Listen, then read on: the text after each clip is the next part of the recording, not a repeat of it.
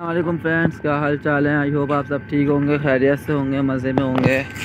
Orangi station पर इस वक्त मैं मौजूद हूँ। आज मैं आया था, ट्रेन का शॉट लेना था। मेरे को ट्रेन आते वक्त का, लेकिन वही सुबह की टाइमिंग का कोई हल नहीं है। सुबह क्या शाम की टाइमिंग का भी कोई हल नहीं है, अभी तक। आप देखें दस दस का टाइम है और मैं यहाँ पर आया था नौ पचपन के करीब। तो ट्रेन आ गई थी, यहाँ पर खड़ी हो गई थी।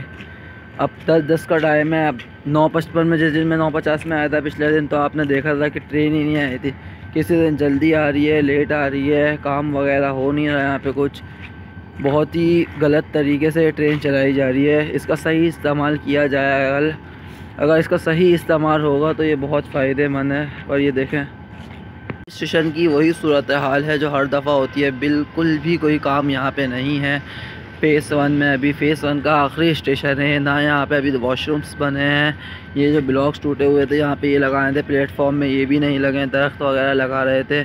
वो भी कुछ नहीं हुआ। ये देखें, दीवारें कितनी गंदी हो गई हैं। आगे की दीवारें तो और गंदी हुई हुई हैं यहाँ पर आप लोग देख चुके हैं पिछली वीडियोस में। के सी आर का हाल आप देखें, कैसी ख़राब हो रही है।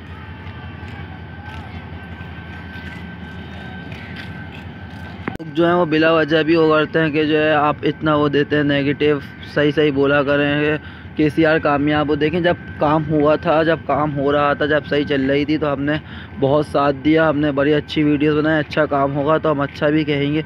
लेकिन जो चीज़ गलत है, हम उसे गलत भी कहेंगे और बुरे काम को बुरा भी कहेंगे। ये देखें, यहाँ पे कोई काम नहीं हो रहा है। काफ़ी दिनों से यहाँ पर सन्नाटा पड़ा हुआ है, काम बिल्कुल भी नहीं हुआ है।